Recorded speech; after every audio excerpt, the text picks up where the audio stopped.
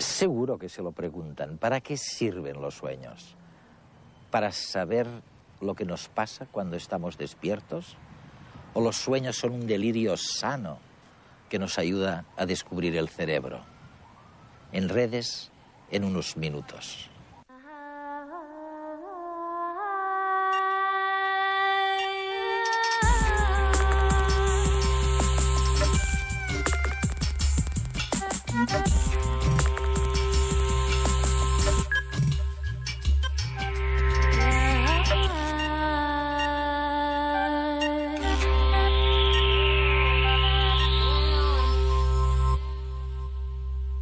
Pasamos un tercio de nuestra vida durmiendo y de este tercio un 20% soñando.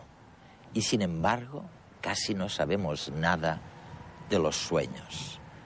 La verdad es que hemos perdido mucho tiempo interpretando los sueños. Y el psicoanálisis comportaba cierta crueldad. Acabábamos dándole la culpa de lo que le pasaba al niño a la madre. Y a veces, lo que es peor, al propio paciente. Ahora, por fin, la neurociencia está descubriendo dos cosas fundamentales en los sueños. Primero, que sirven para reordenar las memorias, los recuerdos acumulados durante el día. Y segundo, lo más importante, que los sueños son una especie de alucinación sana que sirve para estudiar el cerebro.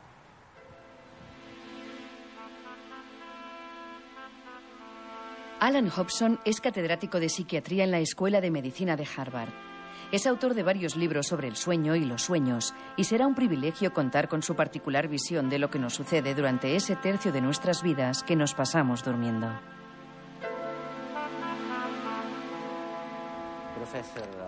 Profesor Hobson, si, si fueras un científico que en lugar de estudiar los sueños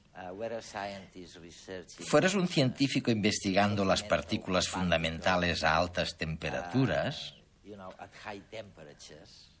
probablemente estarías más satisfecho con los resultados de tu investigación que, que cuando has investigado en sueños porque sabemos tan poco sobre los sueños todavía. Sí, sin embargo, son las partículas que conforman nuestra experiencia.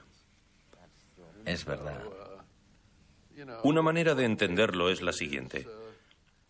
Contemplar el espacio exterior, mirar todas las estrellas, ver su estructura atómica, todas las partículas, y luego volver a mirar el cerebro. Hay 100.000 millones de neuronas en cualquier cerebro humano.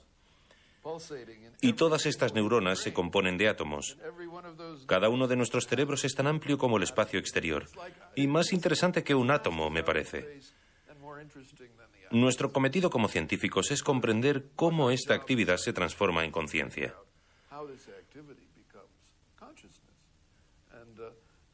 Estudiamos los sueños para estudiar la conciencia, porque con los sueños el cerebro cambia. Y la conciencia cuando estamos despiertos no es igual que la conciencia mientras soñamos. Por eso nos interesa estudiar las diferencias en la actividad cerebral para descubrir por qué el cerebro llega a ser consciente. Y has escrito este libro maravilloso, Desde los ángeles a las neuronas. Y te sugiero que le dejemos ver a nuestros telespectadores las imágenes, algunas de las imágenes como estas. Empecemos con esta preciosa de una pareja durmiendo. Lo llamas la posición de la cuchara. Es una de mis preferidas. ¿Te gusta? Me encanta porque de eso tratan los sueños, ¿no? No lo sé, en eso consiste dormir. La intimidad, quiero decir. Dormir con alguien es maravilloso, precioso. Es íntimo. Esta fotografía la tomó Ed Scott, pero antes de eso, Ted España, con este apellido, debe de ser un italiano de origen español, ¿no? Probablemente, no lo sé. Él fue el primero en fotografiar el sueño. Ah, sí. Y esto fue en 1975, más o menos. Pero no olvidemos que las cámaras existían desde hacía 100 años. ¿Y sin embargo? Sin embargo, cabe preguntarse por qué no se utilizó la cámara antes para estudiar el sueño. La respuesta es que todo el mundo suponía eh, que no era interesante, que cuando la gente dormía no pasaba nada, que nadie se movía, que no se podía ver algo así de hermoso. Además, también tendemos a proteger la intimidad. A nadie le gusta tener una cámara cerca de la cama, pero te acostumbras rápido. Yo tengo una arriba. No en tu dormitorio. Pero lo que quiero decir es que se podrían haber hecho estas fotografías tan fantásticas hace 100 años. Y no se hicieron. No se hicieron. En parte porque la gente es recatada. Y eso me parece más que razonable, claro. Pero también porque nadie creía que se pudiera obtener nada de poner una cámara cerca de la cama para sacar fotografías a intervalos regulares. De nada. España lo hizo porque se compró una cámara en una subasta y no sabía qué más hacer con ella. Y descubrió estos movimientos increíbles. Cuando me enseñó las fotos por primera vez, lo que me conmovió, igual que a ti, fue la intimidad. Pero también me impresionó ver una pauta. Los movimientos corporales se producen rítmicamente. Estudiando las fotografías se puede ver el funcionamiento del ritmo básico cerebral. Esta pareja no se quedará en esta posición más de 20 o 30 minutos. Se girarán, muchos se girarán y se quedarán en la misma posición, pero rotando 180 grados. inconscientemente. O quizás se coloquen espalda con espalda o de frente. Tal vez ocupen los extremos opuestos de la cama. ¿Y significa algo eso? No lo sé. La conducta durante el sueño se ha estudiado muy poco. Sigue habiendo un amplísimo campo por investigar y tal vez eso interese a los telespectadores, porque por supuesto ellos también duermen. Y la mayoría duerme con alguien. Y ocho horas. Llevo tiempo recalcando lo importante que es prestar atención al sueño y también a los sueños. Llevar un diario y ser parte del entusiasmo científico en este campo sin aceptar interpretaciones estúpidas. Alan, pasamos durmiendo un tercio de nuestra vida, ¿no? Más o menos. Más o menos, yo ahora duermo más. Mi padre me dijo que le había gustado mi libro sobre el sueño, pero, Pero, pero que no ¿qué? tenía razón sobre la gente mayor. Me dijo, oye, en tu libro dices que la gente mayor duerme menos, pero yo duermo más. Y la verdad es que yo también duermo más, mucho más. ¿Y tú? No, yo duermo menos. Sí, es que por lo general es así. Pero algunos duermen más. Eso significa que queda mucho por estudiar todavía. Todavía hay mucho por aprender. Dejadme que os presente a una pareja atípica. Edu nunca consigue dormir, es muy nervioso y sufre insomnio. Y ella, Laura, tiene una capacidad innata de dormirse en cualquier lugar. Es narcoléptica. Se podrán imaginar con qué ritmo logran vivir el día a día, aunque desconocemos si padecen estos trastornos por su estilo de vida o viceversa.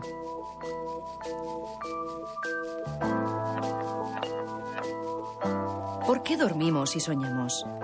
¿Por qué unas personas duermen más y otras menos? ¿Existe un patrón del sueño ideal y común? ¿Necesitamos realmente distintas cantidades de sueño o solo poseemos una habilidad diferente para obtenerlo? Como ven, todavía hay muchas incógnitas respecto al sueño. Vayamos a la vida de Edu por unos segundos. Su imposibilidad para conciliar el sueño le afecta a diferentes aspectos de su conducta. Mientras está despierto, su sistema de alerta disminuye, está menos atento, menos ágil. Sufre fallos en la memoria a corto plazo. Cuando lleva más de tres días sin dormir, hasta llega a tener leves alteraciones transitorias de la percepción.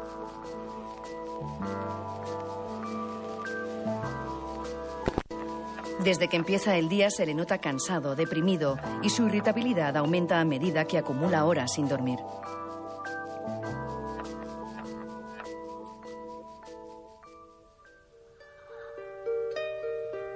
Hablemos de Laura ahora. Ya hemos visto que se duerme en todos los sitios. Estos ataques súbitos de sueño parecen un intento desesperado del cerebro para sobrevivir y evitar de este modo la sobrecarga de información. Las personas que sufren narcolepsia son incapaces de mantener su estado de alerta debido a un sueño nocturno con múltiples interrupciones y un sueño REM fragmentario y de corta duración. Uno de los mayores problemas de los narcolépticos es que su capacidad de sueño es tan repentina que integran alucinaciones transitorias de situaciones que están viviendo en el momento. Es decir, su veloz capacidad de entrar en fase REM durante la vigilia les hace mezclar realidad y ficción.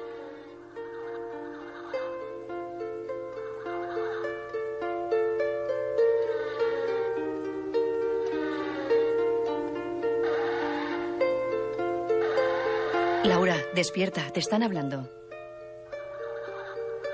Todos necesitamos dormir.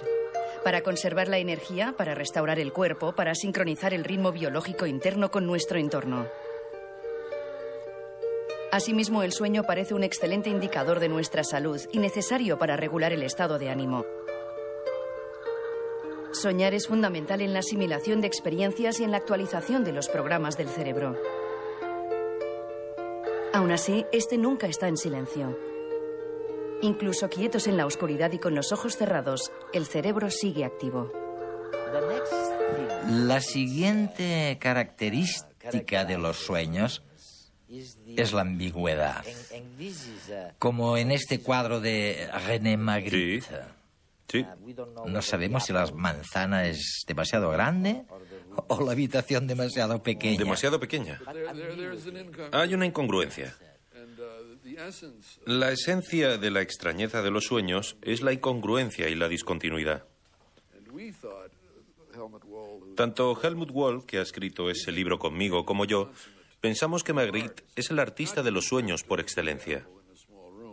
No es que soñara con una gran manzana en una habitación pequeña, sino que reflejaba en el tratamiento formal de los objetos de sus cuadros la esencia de la extrañeza de los sueños, la incongruencia, como esa manzana en la habitación. ¿Y por qué somos tan incongruentes cuando soñamos? Porque la conciencia y los demás factores característicos de la vigilia que hacen que nuestra conversación sea más o menos coherente desaparecen. Ya no están. Las leyes del cerebro cambian. Y cambian como consecuencia de la química. Ahora lo sabemos. Sabemos que el cerebro, cuando dormimos, en un cerebro distinto, y cuando soñamos, también es otro cerebro diferente. Así que por lo menos hay tres cerebros, y quizá tengamos un número infinito de cerebros según los estados cerebrales.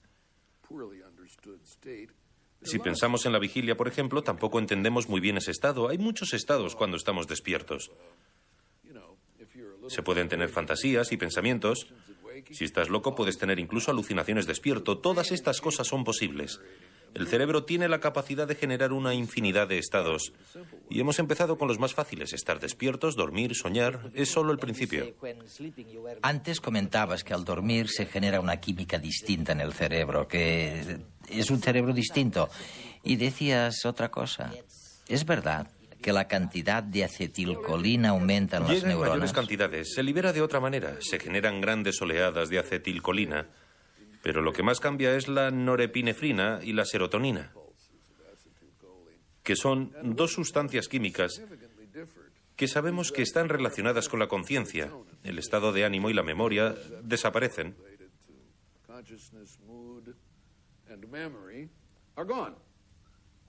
Cuando duermes. Durante el sueño REM, al soñar, ya no se liberan al cerebro. Por eso no puedes organizar los pensamientos. No sabes quién eres, estás desorientado.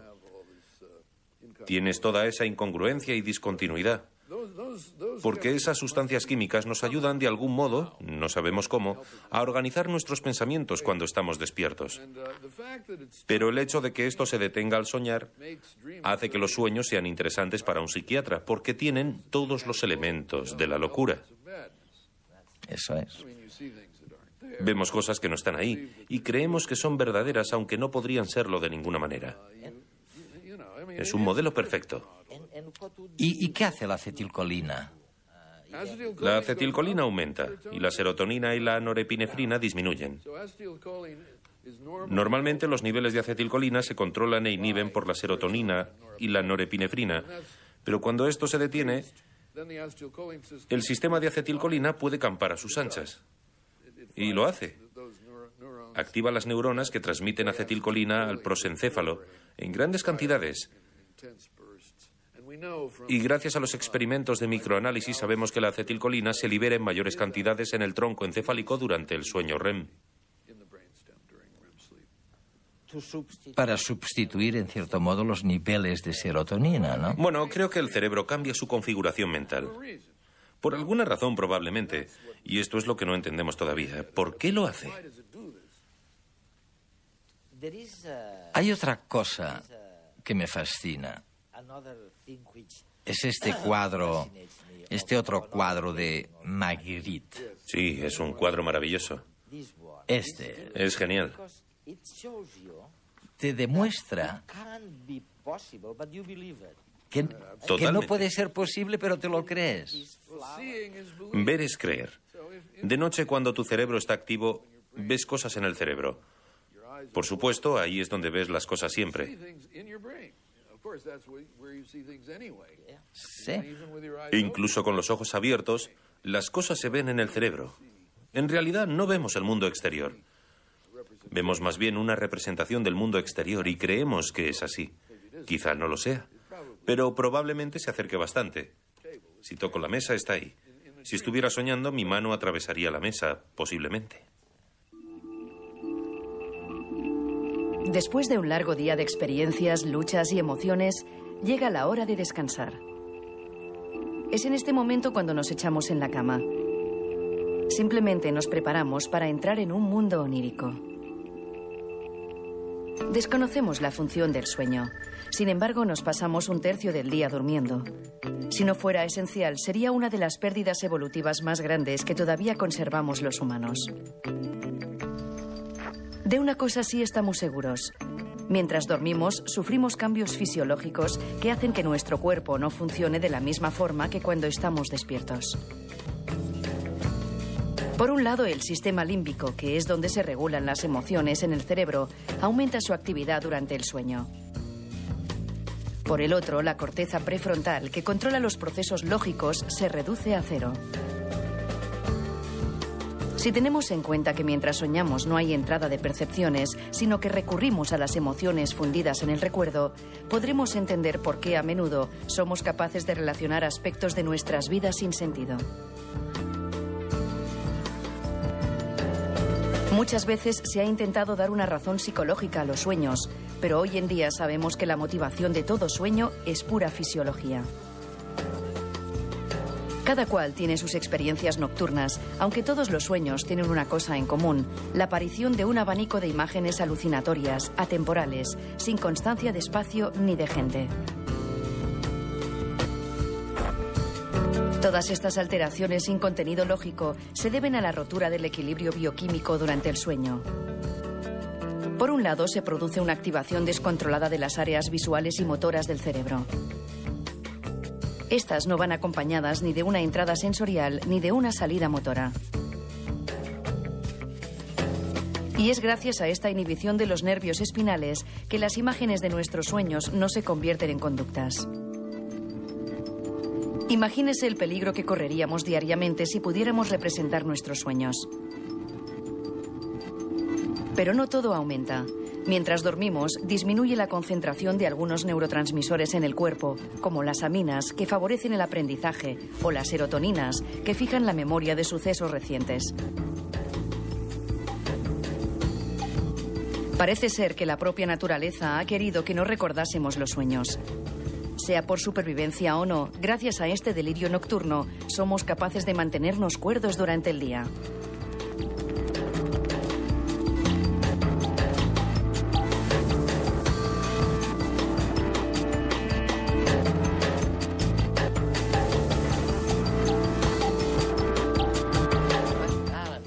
Pero Alan, a la gente le disgusta un poco la tendencia psicoanalista de interpretar los sueños.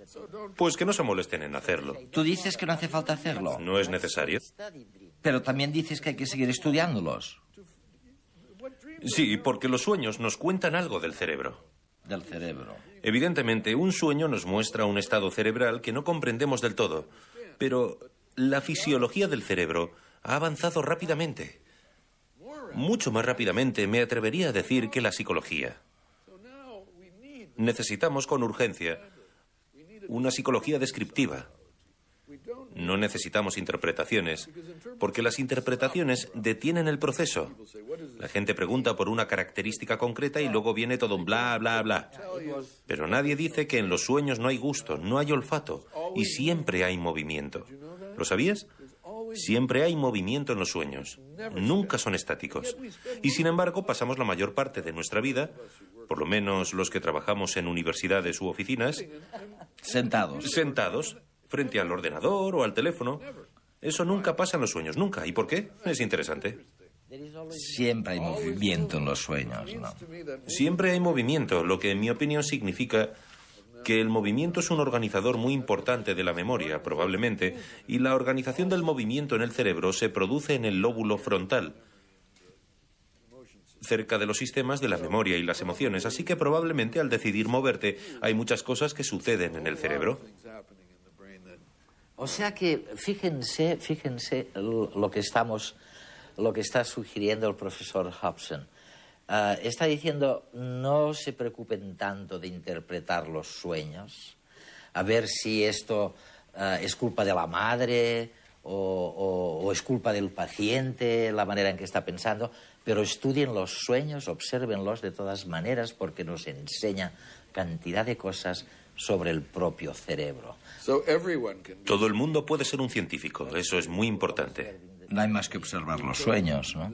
Porque los sueños intentan decirnos algo del cerebro. Y el problema es que algunos se han precipitado a interpretarlos y han perdido de vista el objetivo principal. La mayoría de esas interpretaciones me parecen de poco valor, sinceramente. Miremos ahora otro aspecto. Es de Paul Delvaux. Es fabuloso esta historia, ¿no? Sí, eh, la desnudez representa el aspecto más provocador y luego está el, esqueleto.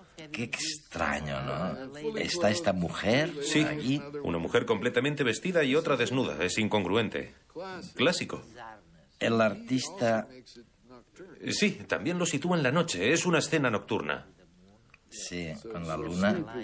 Y el sueño forma parte de ello, está implícito. La mujer parece despierta, pero podría estar soñando. ¿Quién sabe? Sí. Es frecuente soñar que uno está desnudo cuando debería estar vestido. Nosotros lo hacemos solo cuando toca, cuando lo dice el reloj o cuando se supone que nos lo podemos permitir. Ellos, sin embargo, pueden escoger el momento, entre caza y caza, entre bocado y bocado.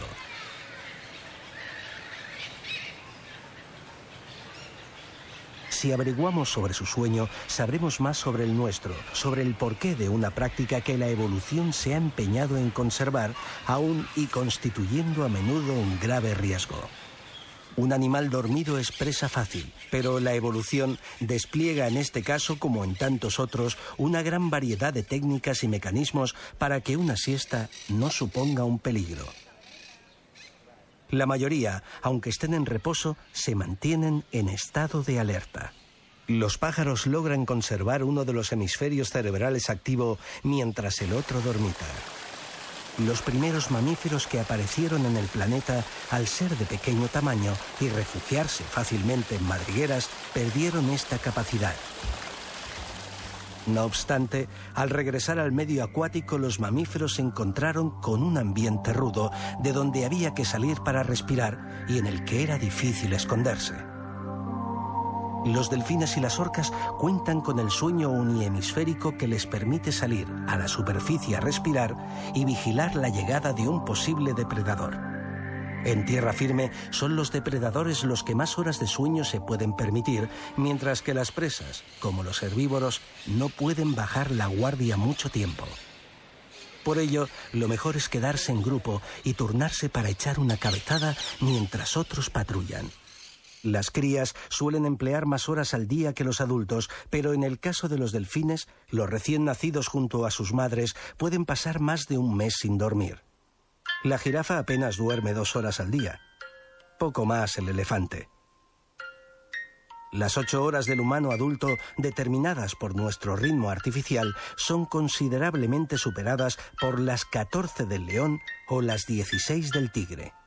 El más tranquilo, colgado y escondido tras sus alas, es el murciélago, que apenas abre el ojo durante tres o cuatro horas al día. Podrá ser a veces un riesgo, pero dicen que dormir es necesario. Y lo mejor de todo es lo dichosos que nos hace.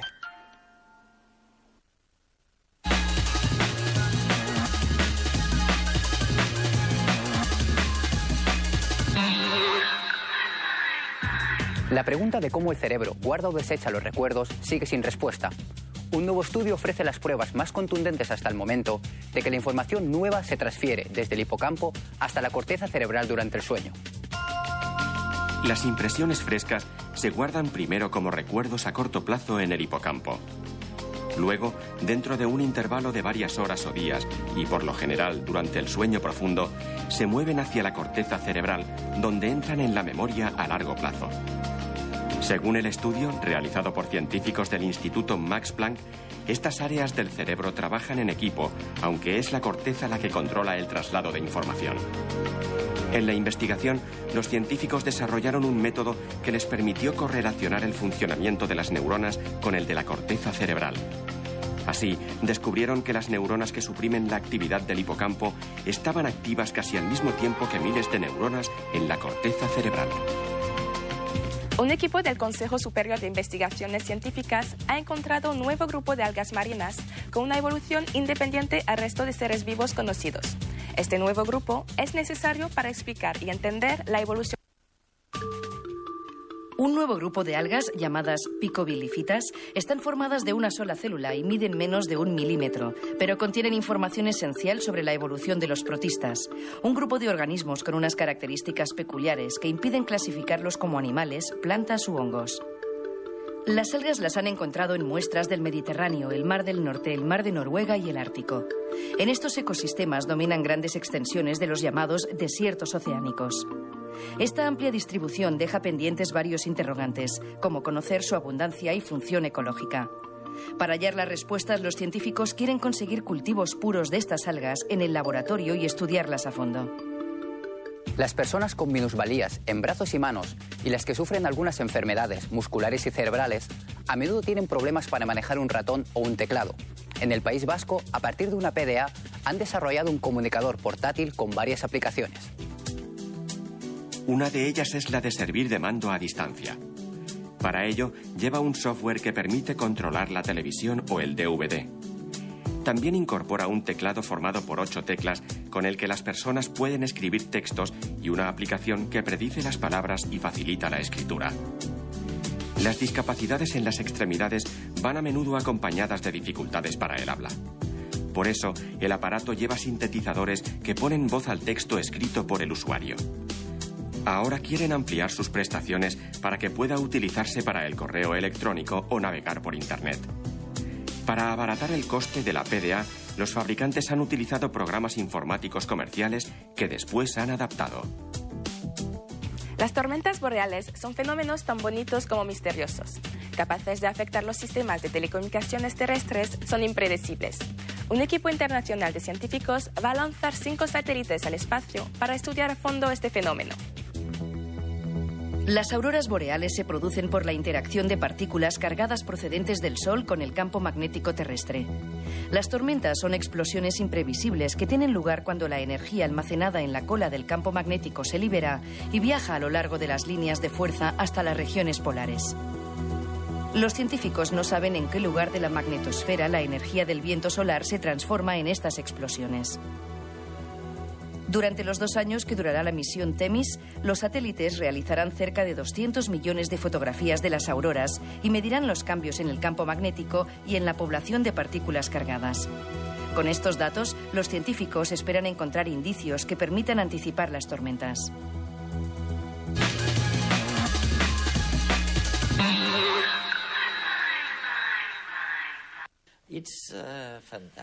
Es fantástico porque los neurocientíficos ahora sugieren o explican lo que tú decías, que la mayoría de la energía que consume el cerebro, y consume mucha energía, alrededor del 20% de la energía total, no la destina a mirar lo que está pasando fuera.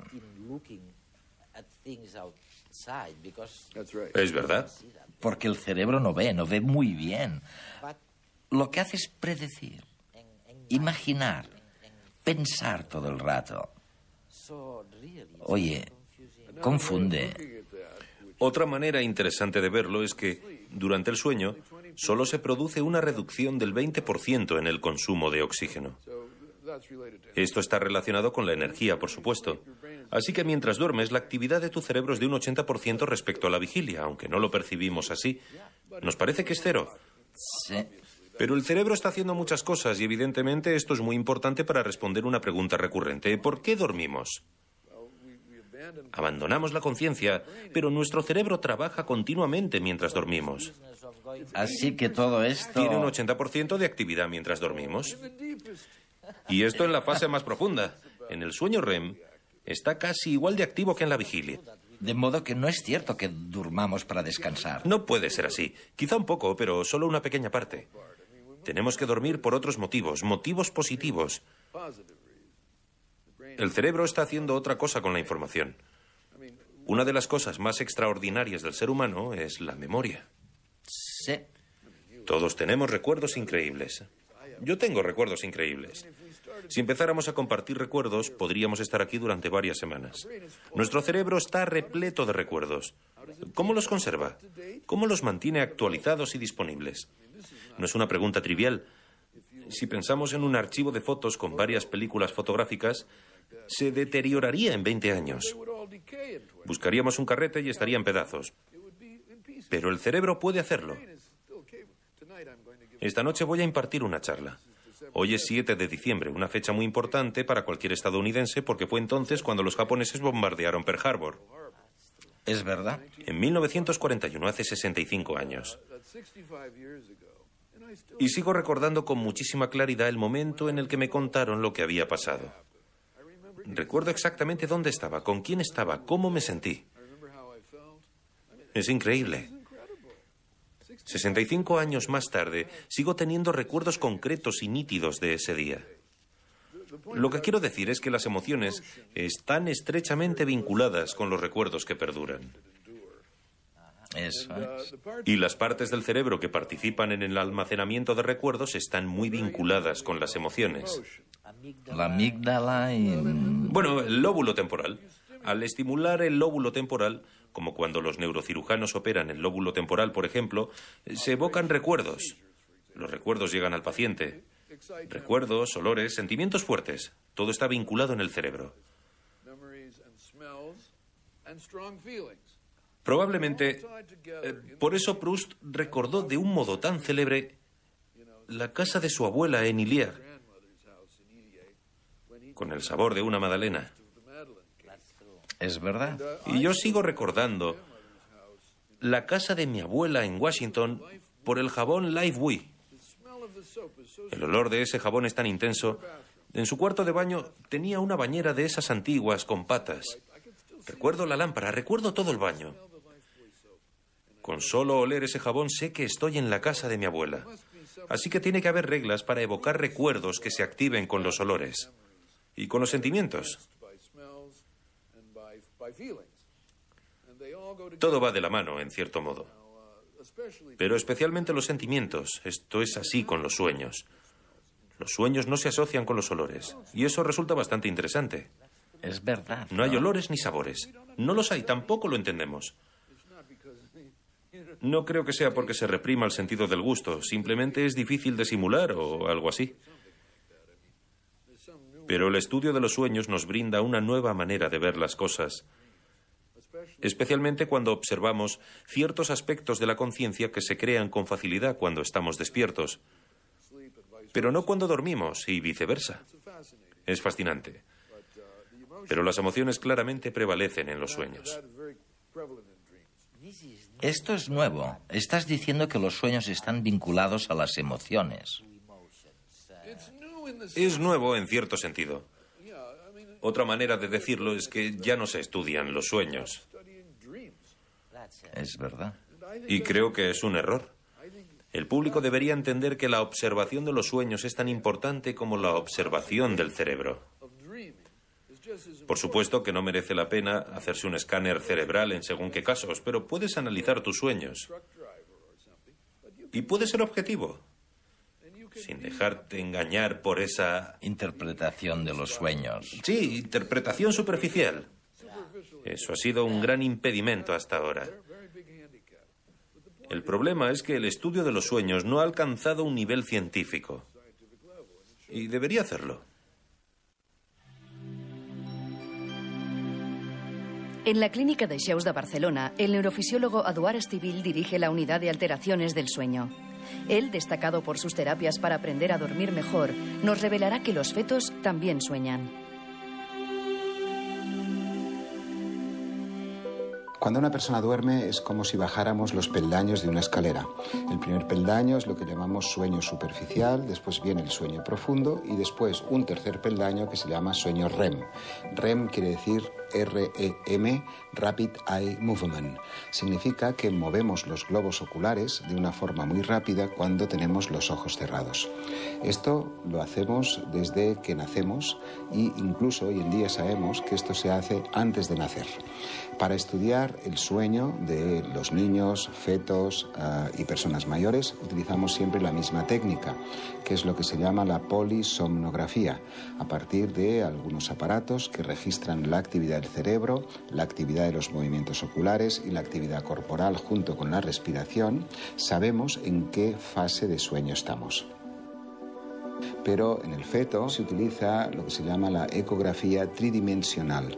Entonces, mediante estas ecografías podemos observar qué es lo que está haciendo el niño.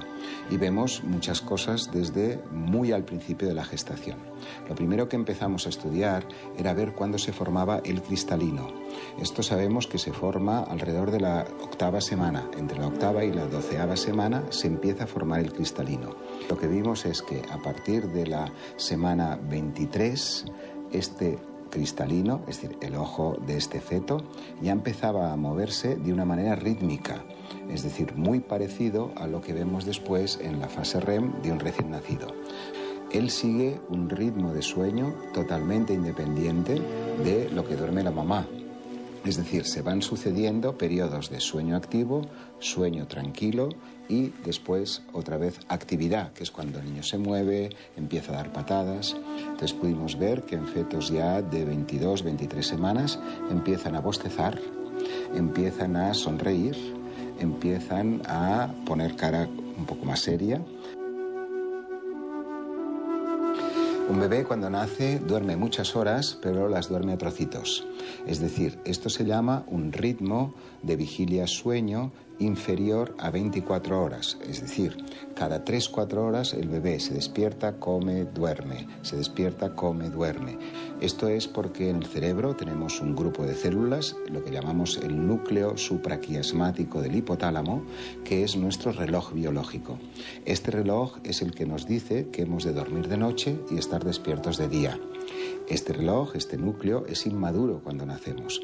Por esto no funciona bien este reloj. Es decir, no está de acorde con las 24 horas del día que después nosotros nos adaptamos.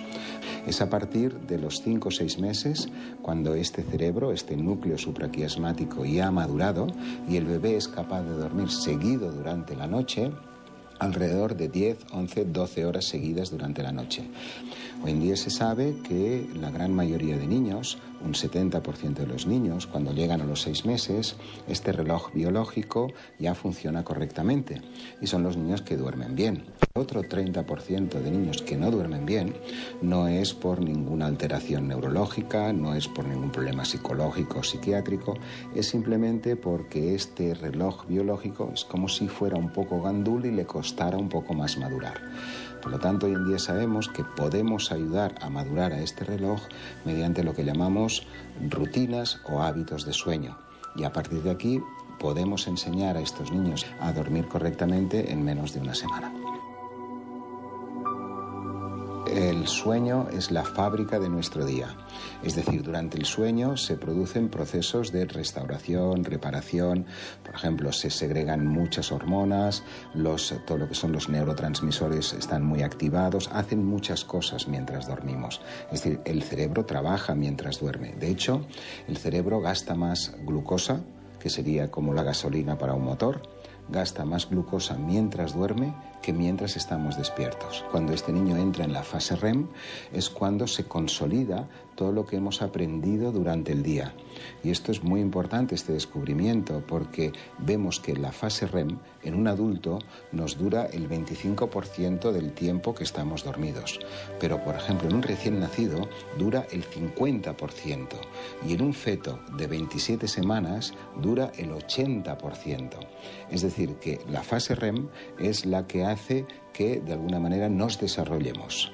Claro, esto implica que si un niño no duerme bien, si no duerme en esta fase tanto de sueño profundo como de sueño REM, sea un niño que cuando es un poco más mayor pueda tener problemas en la escuela, pueda tener incluso problemas de crecimiento por el solo y simple hecho de no dormir correctamente. Si hay una imagen, alguna imagen que refleje la absoluta carencia de lógica y sentido de los sueños, es este cuadro de Quirico, ¿no? Este es el cuadro. Sí, Giorgio de Quirico, como Dalí y Magritte, estaba interesado en los sueños.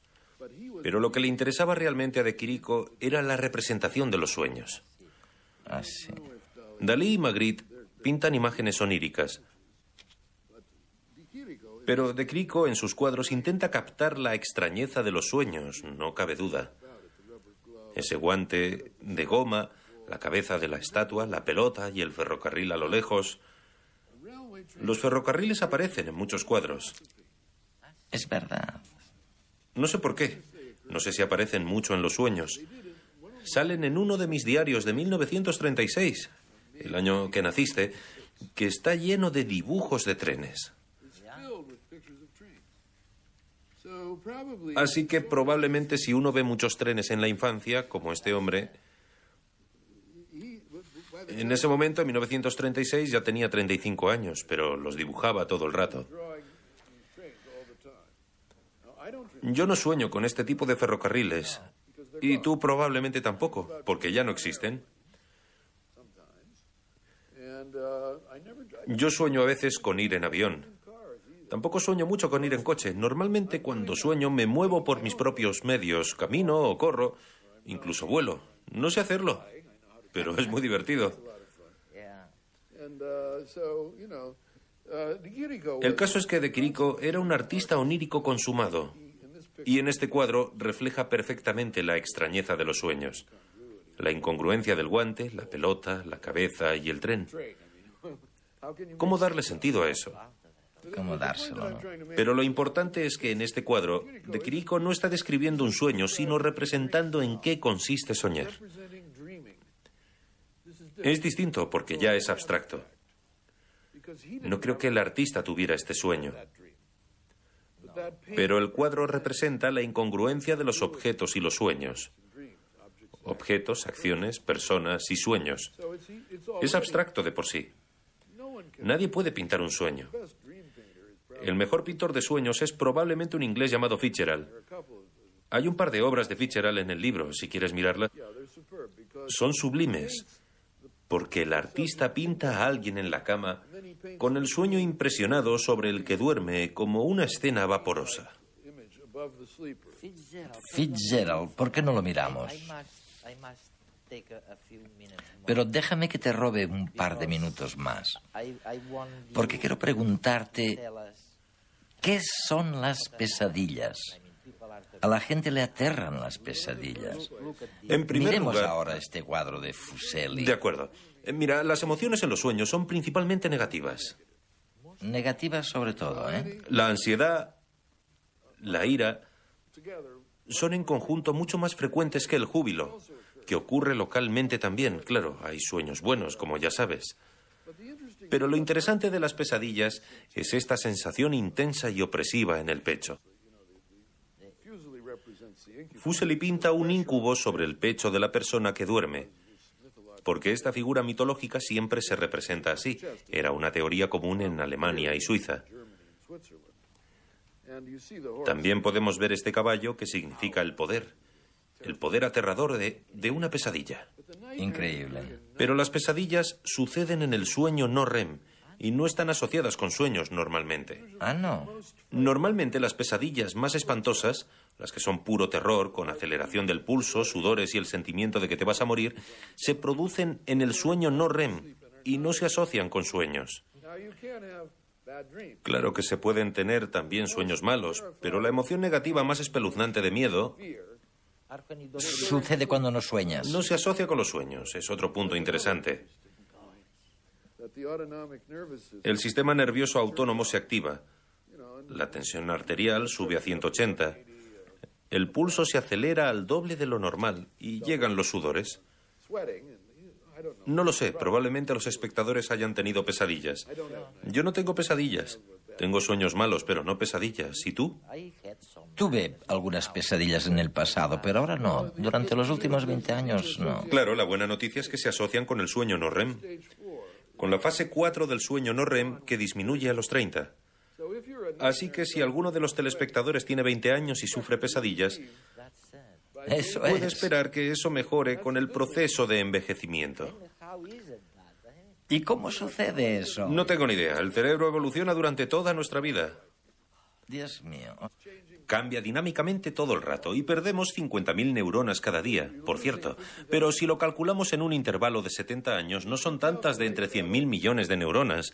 De modo que no es la pérdida de neuronas lo que nos da problemas, tiene que ser otra cosa. Algo que hace que no podamos recordar las cosas o que tengamos tantos problemas para aprender un nuevo idioma, como lo que me pasa a mí con el italiano.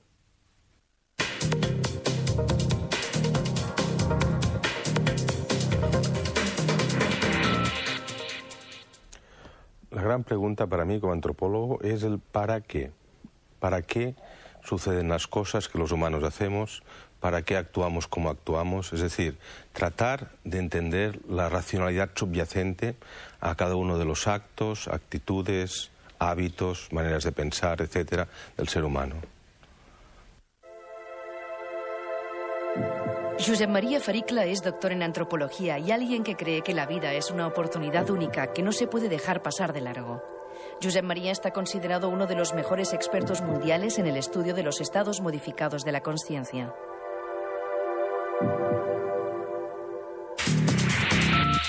En nuestra idiosincrasia, en Occidente, tanto a nivel popular como a nivel científico, la pregunta que suele formularse es el por qué. ¿Por qué suceden las cosas? ¿Por qué los fenómenos son como son? Y esta pregunta, a pesar de que tiene mucho de útil y de positivo, nos retrotrae siempre al pasado. No nos damos cuenta, pero dedicamos una enorme cantidad de tiempo de nuestra vida anclándonos al pasado, preguntándonos el porqué de nuestras cuestiones personales, psicológicas, familiares, culturales, etcétera.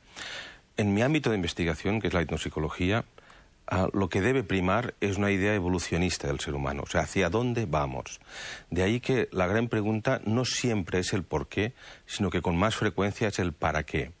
Por ejemplo, la malita muscaria, este hongo que en Europa se ha tomado durante, durante milenios, si nos preguntamos por qué lo tomaban y lo toman aún ciertas personas, la respuesta no nos lleva a ningún lugar.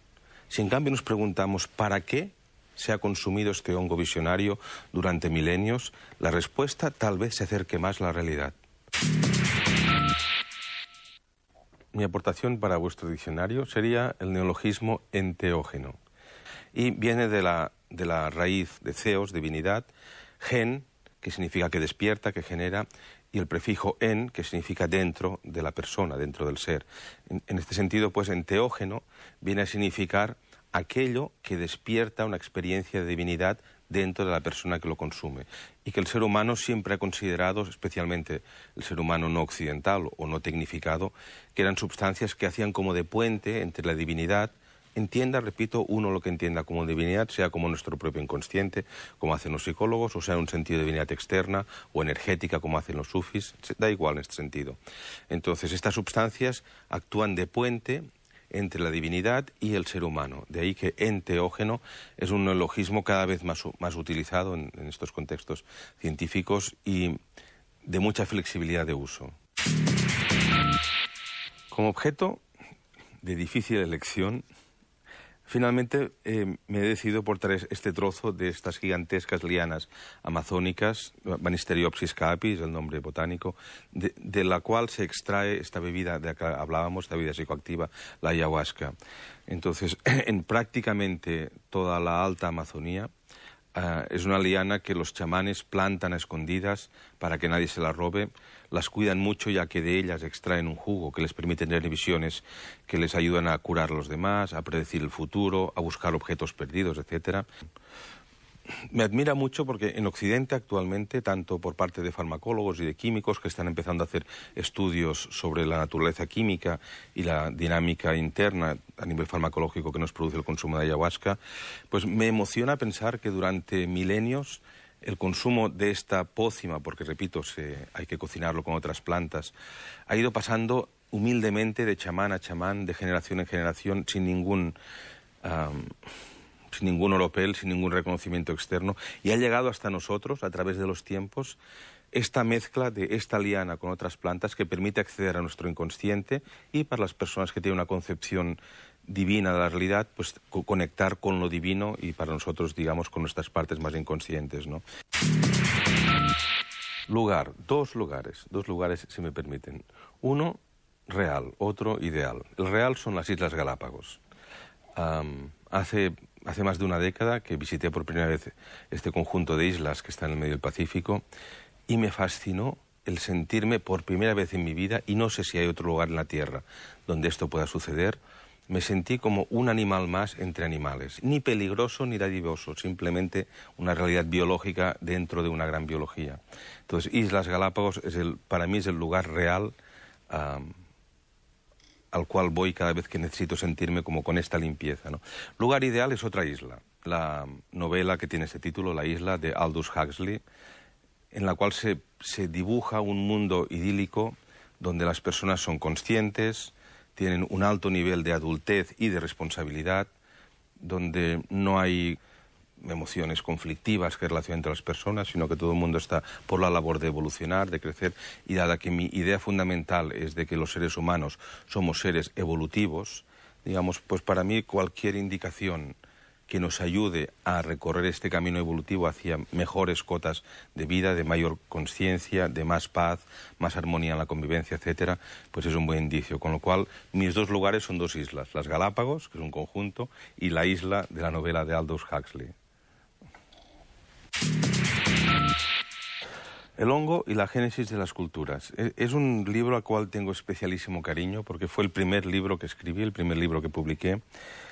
Y Creo que es un buen texto para las personas interesadas en lo que es etnofarmacognosia o etnopsicología o el estudio del uso de sustancias psicoactivas por parte del ser humano y las aplicaciones culturales que tiene esta utilidad. Cuando trabajé en él, desde luego, no tenía ni idea que podría llegar a convertirse, como afortunadamente ha pasado, en un clásico en un clásico como ensayo referido a los estados modificados de conciencia y a las sustancias psicoactivas.